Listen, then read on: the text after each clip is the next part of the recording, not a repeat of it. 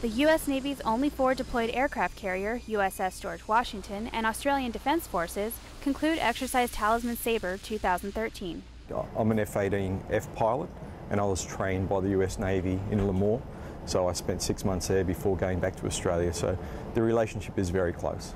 Over a three week period, the Combined Joint Task Force underwent various integrated tactical events that strengthened interoperability and refined procedures and doctrine between the two Western Pacific partners. I think one of the most important elements that shows the integration between our forces is the ease with which we shift under tactical control of each other. The Talisman Sabre series is designed to improve the relationship between the U.S. and Australian combat forces.